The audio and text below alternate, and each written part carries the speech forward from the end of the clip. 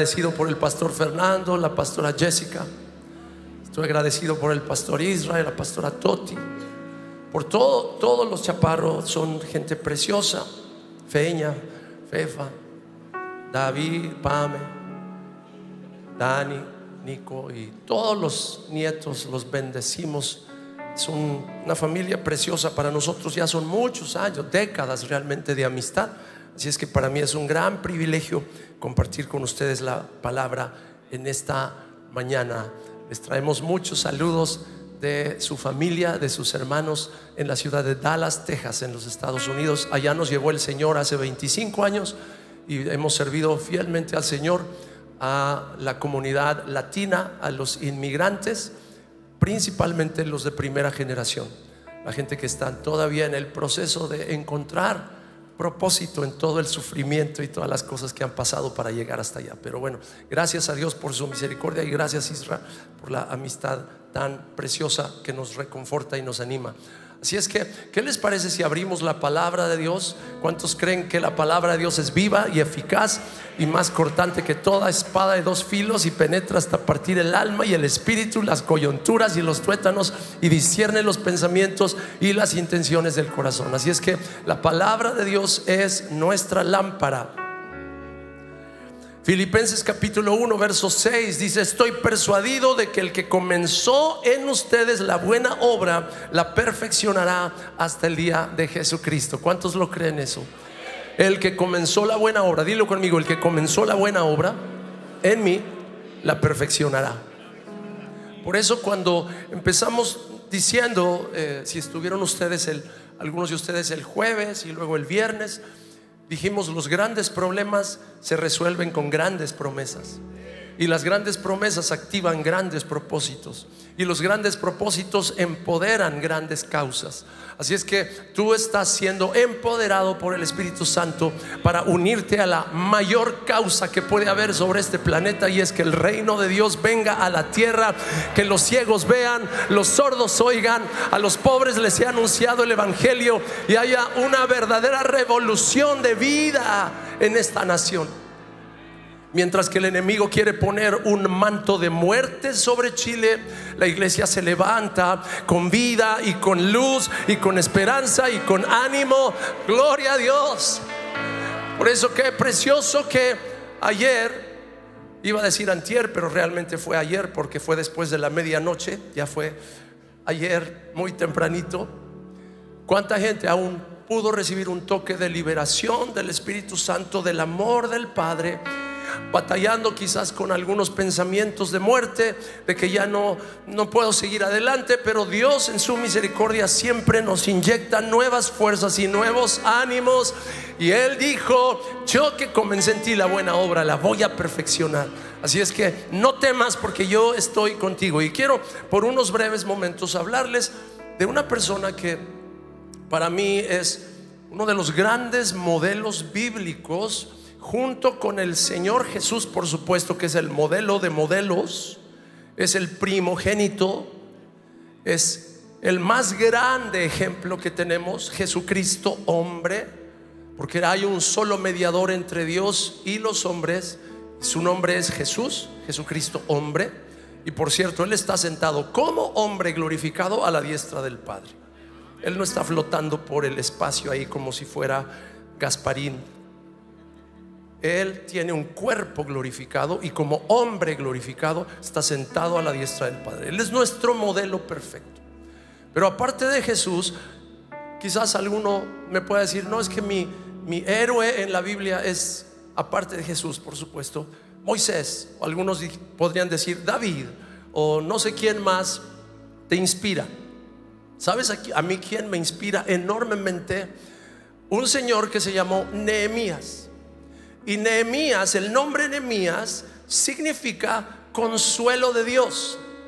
Quiere decir que Nehemías en el Antiguo Testamento es un tipo del Espíritu Santo, porque cuando Jesús partió y les dijo a sus discípulos, les conviene que yo me vaya porque si no me voy el consolador no vendría. Pero si yo me voy, les voy a enviar al consolador y vendrá del Padre para estar con ustedes. El Espíritu de verdad, el cual los va a guiar a toda la verdad, va a estar con ustedes todos los días hasta el fin del mundo. El Espíritu Santo es el gran consolador. Por eso en el Antiguo Testamento, Nehemías es un tipo del Espíritu Santo. Y quiero que me acompañen a dos capítulos del libro de Nehemías. Primero vamos a ver el capítulo número 2. Y les voy a dar un poquito de contexto. El pueblo de Israel había sido llevado cautivo a causa de sus pecados, a causa de que se habían apartado de Dios y habían ido en la, en la dirección de la oscuridad y de las tinieblas. Al final su pecado los alcanzó y fueron llevados cautivos. Eh, el ejército de los babilonios los tomó de la tierra de Israel y los llevaron en un exilio forzado. Y en el tiempo en el cual empezó a haber ya gracia para regresar, porque todo tiene que ser construido cuando la gracia finalmente ha vuelto y ha regresado. Si tú quieres reconstruir en tu vida, necesitas esperar el tiempo correcto. No estoy diciendo que no puedas reconstruir desde el primer día que te vuelves a Dios. Pero Dios lo que hace en su misericordia es que cuando Él permite que tú despiertes y te vuelvas a Él, empieza a sanar tu mente, sanar tus emociones y darte estabilidad. Porque es imposible construir si no tienes primero estabilidad. ¿Quién se pone a construir una torre sin primero sentarse a calcular el costo, a hacer presupuestos y tener todas las cosas en orden? Es imposible que tú construyas o reconstruyas si no tienes primero una cierta estabilidad. Y por supuesto, eso involucra también estabilidad mental, estabilidad emocional, estabilidad financiera, estabilidad en muchas partes. Por eso yo celebro, honro y bendigo la vida de los pastores Fernando y Jessica, porque son, para mí son un verdadero ejemplo de Nemías de este tiempo. Porque son verdaderas personas. Y, escúchame bien lo que, lo que te voy a decir.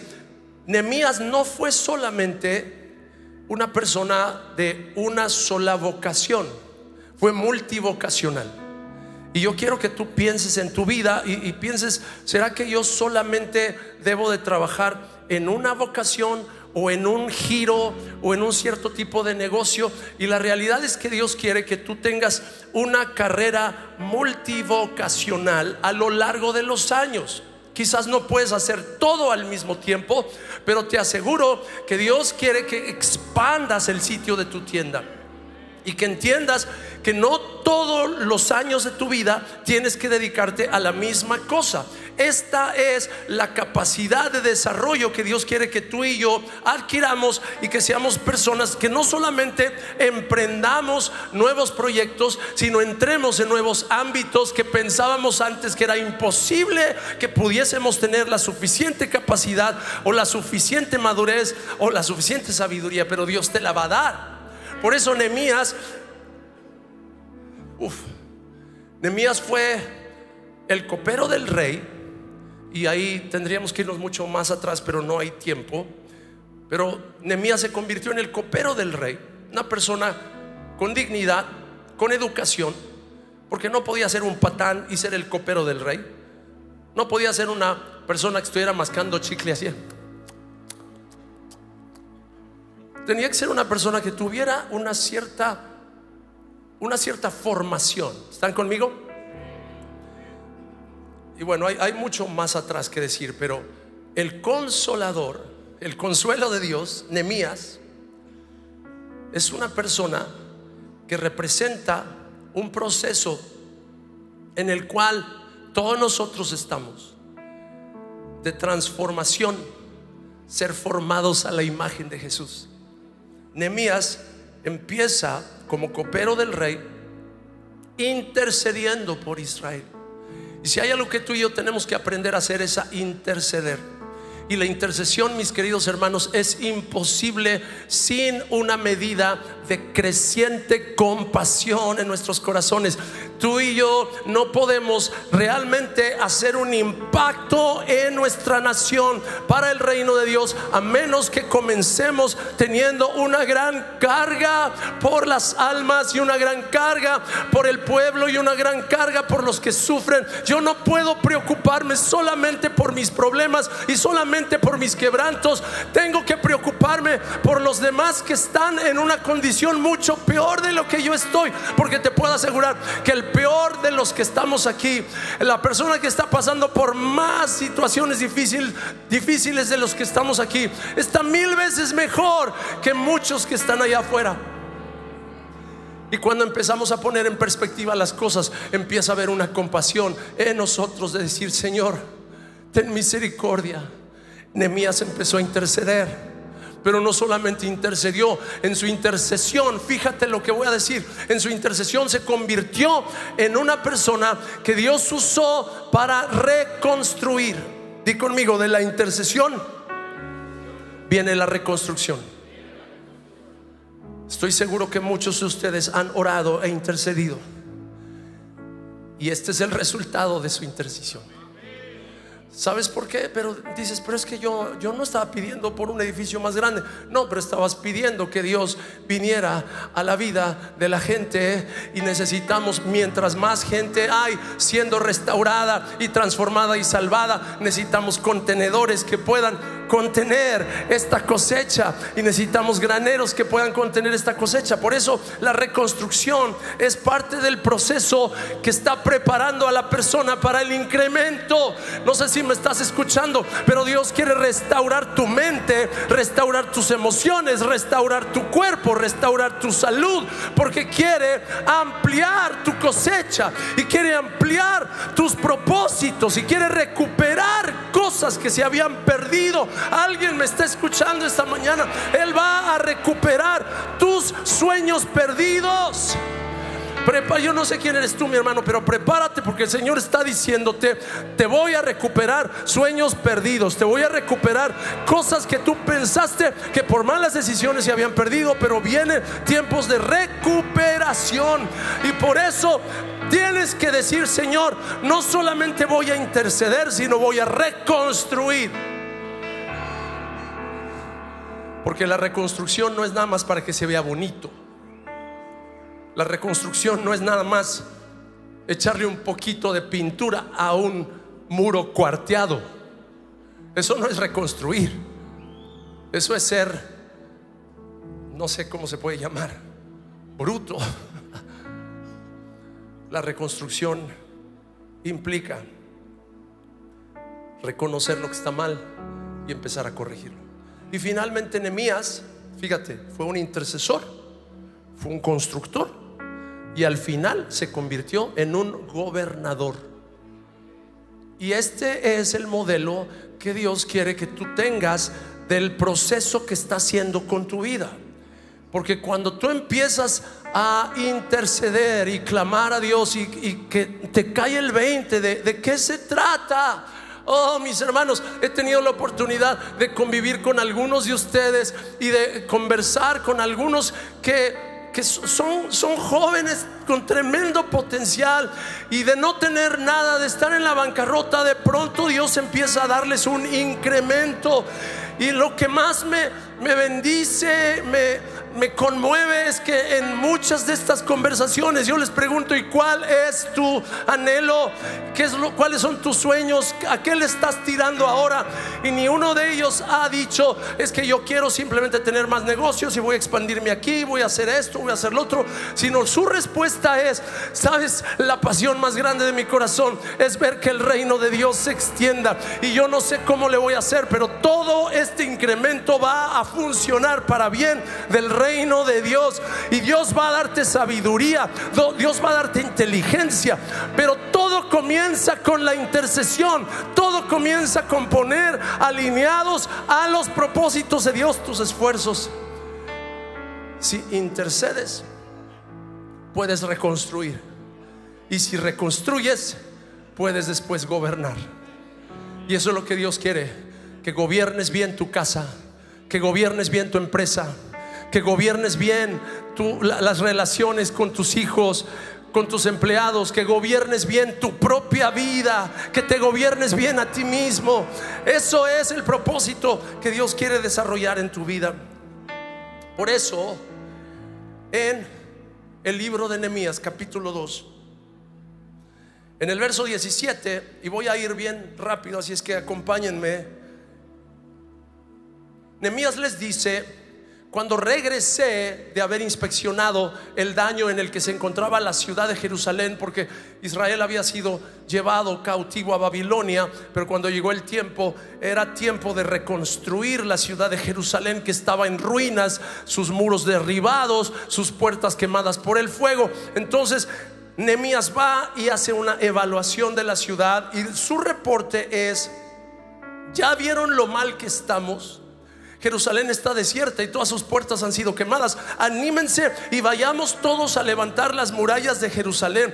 Basta ya de esta vergüenza. Di conmigo, basta ya de esta vergüenza.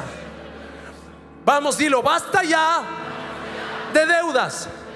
Basta ya de quebrantos. Basta ya de malas decisiones. Basta ya de infidelidad. Basta ya de amargura. Basta ya de lo que está trayendo daño. Basta ya de lo que está causando aunque tu propio cuerpo se deteriore más rápido de lo que debería deteriorarse. Oh, wow. Hay como tres mensajes en lo que les estoy compartiendo, pero por eso es que cuando Nemías empieza en este proceso de reconstrucción, empieza con una evaluación sincera. Digan conmigo, evaluación honesta. Si tú no estás dispuesto a hacer una evaluación honesta de dónde estás, algunos de ustedes necesitan detenerse un poco y volver a hacer la cuenta de cuánto debes. Porque algunos aún han dejado de darle seguimiento a cuánto debes. Y hay varios sobres allí que ni siquiera has abierto y necesitas abrirlos y necesitas ser honesto y evaluar y decir, ¿sabes qué? Ya no voy a estar haciéndome la avestruz que mete la cabeza en el hoyo, voy a evaluar. Pero cuando e, aprendes a evaluar, entonces ahí puedes, tener la oportunidad de venir delante del Señor y decir, Dios, ayúdame, ten misericordia de mí. Ya no quiero estar ignorante, mucho menos negando una realidad que está difícil. No la voy a negar, la voy a aceptar, pero eso me va a hacer que interceda, interceda por mí, interceda por mi esposa, interceda por mis hijos, interceda por nuestro futuro es más, voy a interceder por los hijos de mis hijos que todavía no nacen. Voy a estar creando un futuro para ellos a través de esta realidad que estoy aceptando hoy. La realidad de hoy no es la mejor, pero es el punto de partida para la reconstrucción. ¿Están conmigo?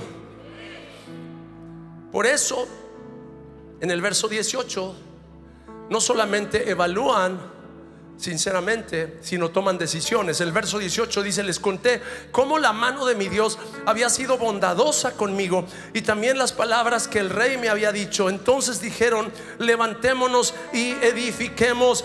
Yo quiero que lo grites con fuerza esa, la penúltima línea, dilo conmigo, levantémonos y edifiquemos. Una vez más, levantémonos y edifiquemos.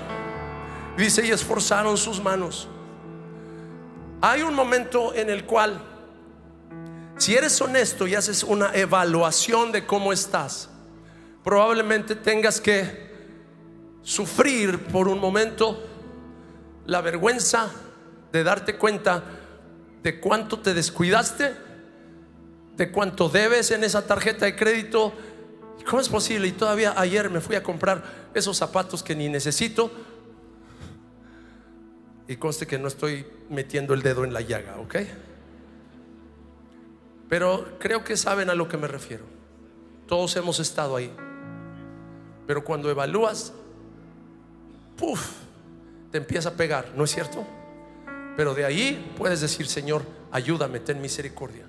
Y en ese momento empezar a cambiar la dinámica y cambiar la forma de que estás pensando. Y por eso es que allí está el momento crucial, y este es el momento crucial de este mensaje, que tú y yo lleguemos a un punto de evaluar, pero no para tristeza ni para depresión, sino para decisión. Evaluar para decidir, me levantaré y voy a edificar en el nombre de Jesús. Me levantaré y voy a reconstruir. Me levantaré y voy a salir de deudas. Me levantaré y voy a pedir perdón. Me levantaré y voy a resolver y voy a solucionar lo que tengo que solucionar. Si tú lo crees, dale un aplauso al Señor y dile, sí Señor, sí Señor.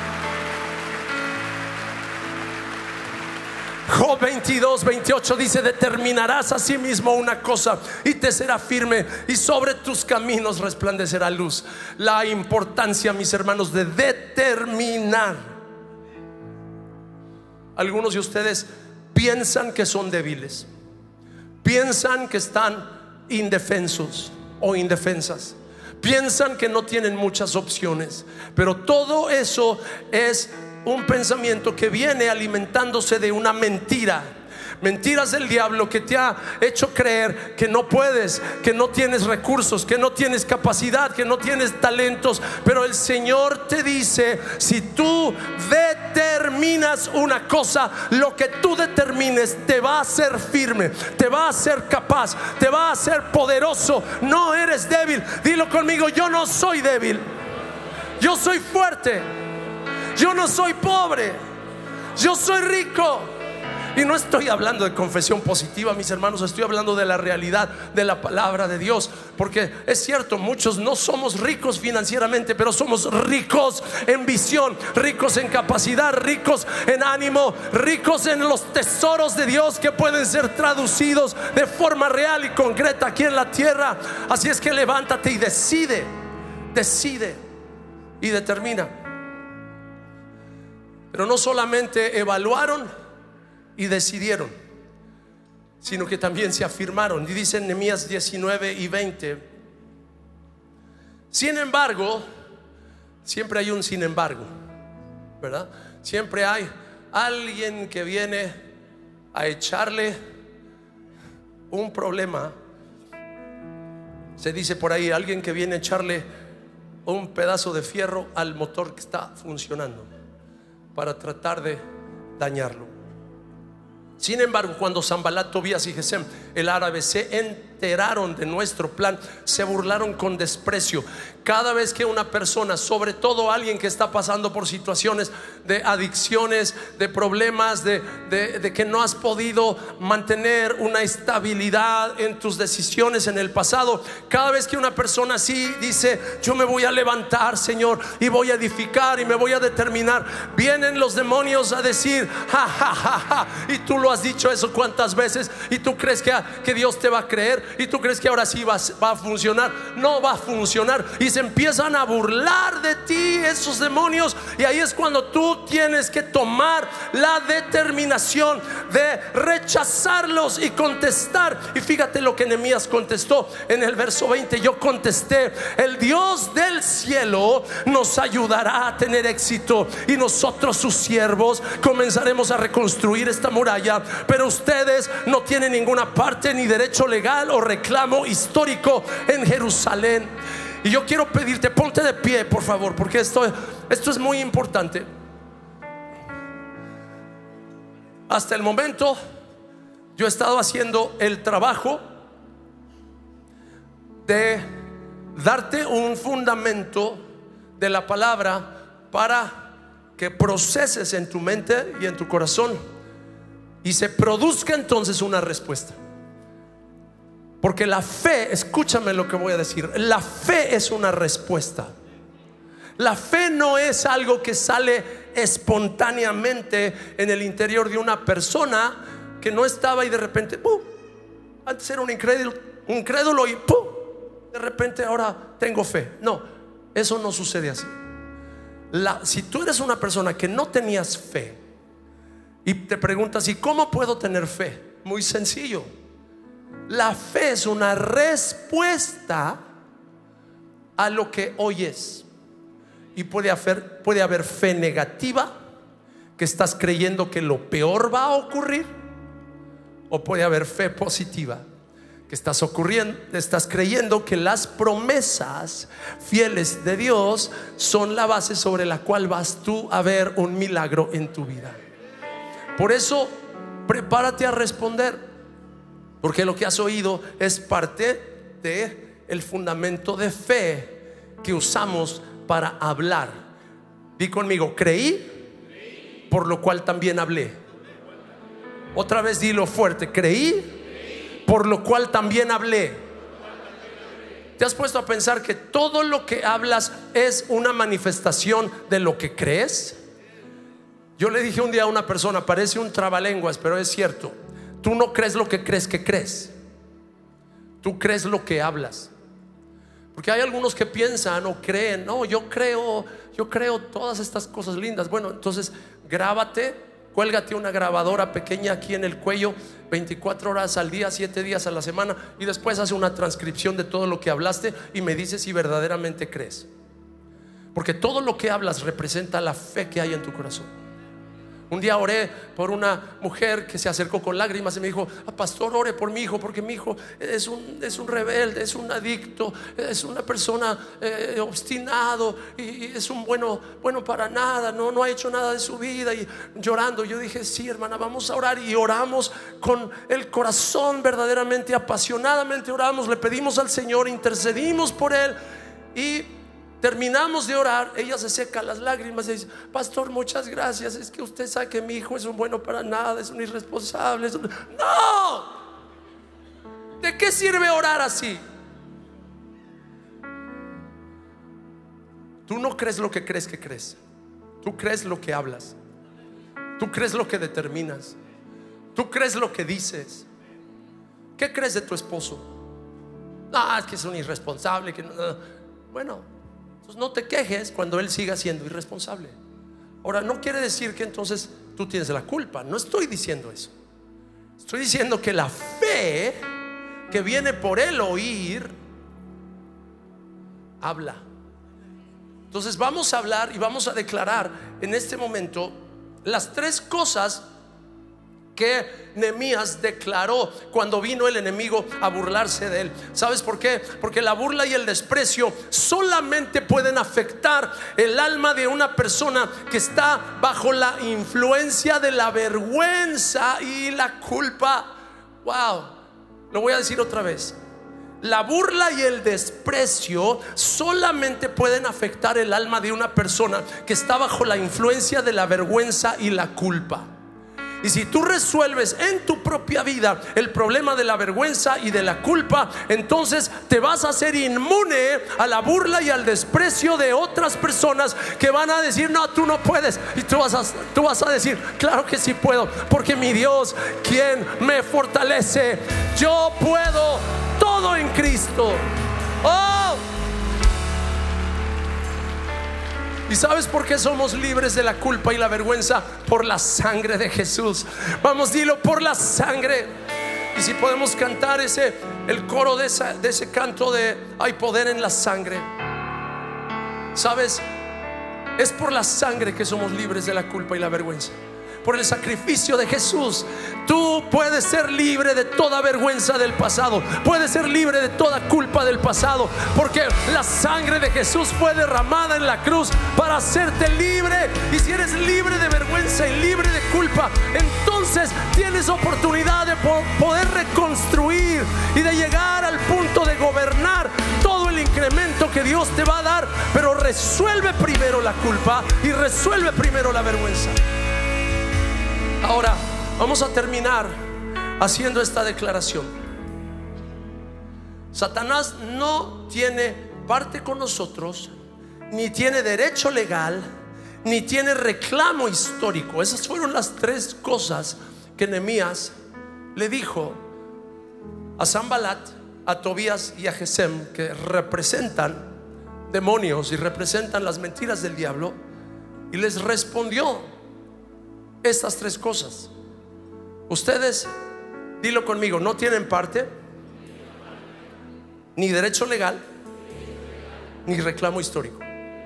Son tres cosas muy importantes que la sangre de Jesús hace en nosotros. Nos libera de la parte que el diablo había agarrado de nuestras vidas. Porque a causa de nuestras decisiones malas en el pasado, el diablo se había metido y había agarrado partes de nuestra alma, de nuestra mente, aún de nuestra salud. Pero cuando viene la sangre, se desarraiga en el nombre de Jesús la obra del diablo que antes tenía una parte en ti. Ahora puedes decir, diablo, no tienes parte ni suerte en mi vida por la sangre de Jesús que fue derramada. Pero no solamente el diablo no tiene ya parte, tampoco tiene derecho legal y tampoco tiene un reclamo histórico. Así es que vamos a, declararlo juntos. Así es que yo les pido, si, eres una persona que, no eres muy vocal, que no eres más bien reservado, eres más bien introvertido, está bien. No, no quiero que seas extrovertido si eres introvertido, ni quiero que seas una persona escandalosa si más bien te gusta guardar silencio. Pero hay momentos en los que tienes que hablar. Y si no me crees, si nunca abres la boca para decirle a esa chica que te gusta, ¿aceptaría usted ir a tomar un café conmigo? Si nunca dices nada, nunca va a suceder nada. Y esa se me hace que es una revelación para algunos solteros que están aquí. Rompe el temor y di, ay, pero es que si me dice que no, pues bueno, ya no pierdes el tiempo y entonces pones tu mirada en alguien más. Así de sencillo. Pero cuando decimos algo, las cosas suceden. Cuando hablamos algo, las cosas empiezan a cambiar. Por eso dice la palabra, si confesares con tu boca que Jesús es el Señor y creyeres en tu corazón, serás salvo. Por eso dice la palabra que nosotros a través de nuestra confesión establecemos el fundamento para la vida y la prosperidad que Dios quiere edificar, no solamente para nosotros. ¿Te das cuenta que lo que estás diciendo tiene un impacto para tus hijos? Para tus hijos, para los hijos de tus hijos, para los hijos de los hijos de tus hijos. Por eso yo quiero que leamos juntos lo que está en la pantalla. Son tres imágenes y lo vamos a leer juntos una tras otra, ¿ok? Lo primero es una aseveración, una determinación, una, una afirmación que estamos haciendo. Yo lo creo, Satanás no tiene parte con nosotros. Y el fundamento de fe, no lo estamos diciendo porque somos bravucones o porque nada, no, no. Lo estamos diciendo porque hay un fundamento legal en la palabra de Dios que nos da la fe para declararlo en el nombre de Jesús. A lo mejor Nemías estaba así con las piernas temblándole mientras decía, ustedes no tienen parte con nosotros. ¿Sabes por qué? Porque lo estaba diciendo en fe. Porque vaya que si había muchos que lo querían matar y si alguna vez te han amenazado de muerte, entiendes perfectamente lo que significa que haya alguien que te quiera hacer daño. Pero en esos momentos es cuando tienes que ir a un poder superior, a una autoridad más alta que la tuya, a una capacidad que es superior a la de tus fuerzas y es la capacidad del Espíritu Santo, el consolador, el enemías de tu vida. Así es que vamos a decirlo Colosenses 1, 12 al 14. ¿Listos? Una, dos, tres. Con gozo, dando gracias al Padre, el cual nos ha librado de la potestad de las tinieblas y trasladado al reino de su amado Hijo, en quien tenemos redención por su sangre, el perdón de pecados. Vamos, dale gracias. Dale gracias. Y no solamente Nehemías le dijo a los enemigos, no tienen ustedes parte con nosotros. También les dijo, ustedes no tienen derecho legal con nosotros. Sabes, esto es importante porque no solamente es que la sangre nos ha lavado, sino que la sangre de Jesús nos dio derechos legales sobre los cuales ahora funcionamos. Ya no somos huérfanos, somos hijos. Tenemos ahora un padre, tenemos un linaje, tenemos una herencia, tenemos autoridad. Por eso al hijo pródigo cuando regresó, una de las cosas que el Padre le dio fue un anillo en su dedo, porque el anillo representa autoridad, el anillo es el sello del Padre en la mano del Hijo, y eso es lo que el Señor te está diciendo. Así es que vamos todos a leer con mucha fuerza lo que está, dilo conmigo, Satanás no tiene derecho legal sobre nuestras vidas. Ahora Colosenses 2, 13 al 15, listos, 1, 2, 3.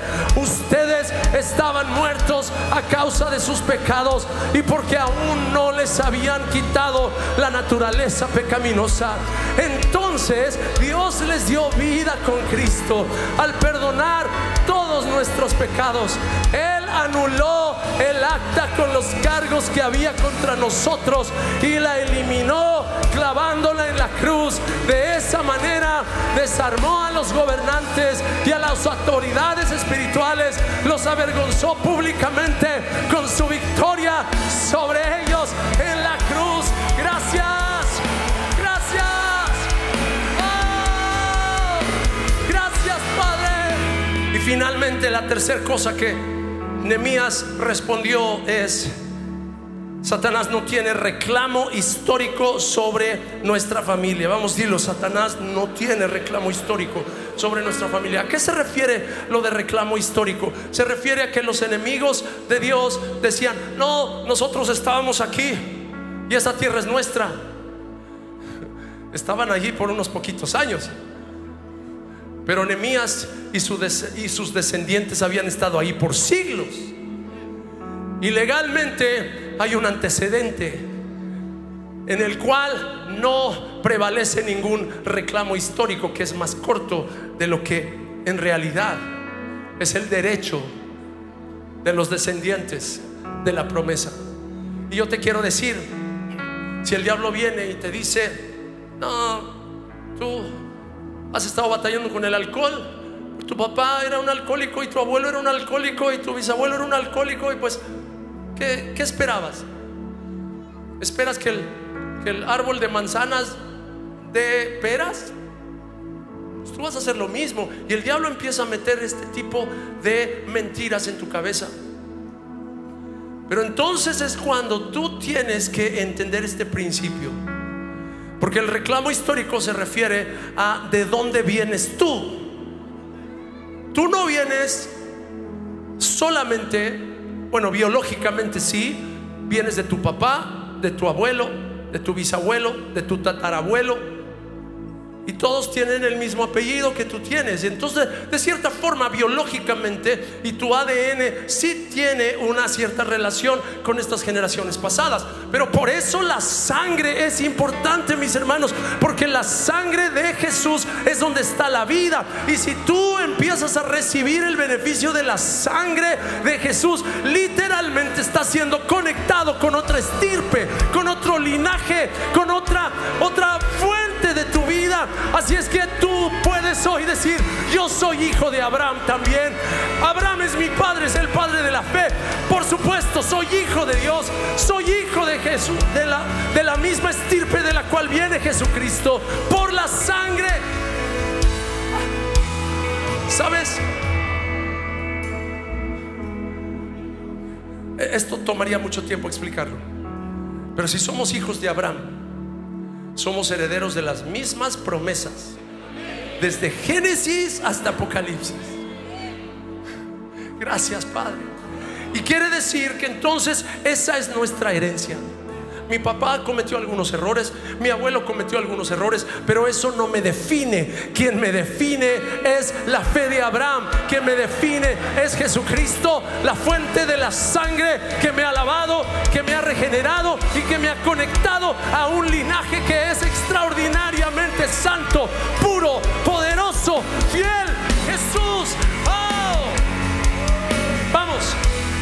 conmigo, Satanás no tiene reclamo histórico sobre nuestra familia.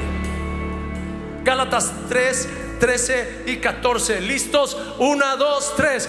Cristo nos redimió de la maldición de la ley y por nosotros se hizo maldición, porque está escrito, maldito todo el que es colgado en un madero, que en Cristo Jesús la bendición de Abraham alcanzara a los no judíos, a fin de que por la fe recibiéramos la promesa del Espíritu.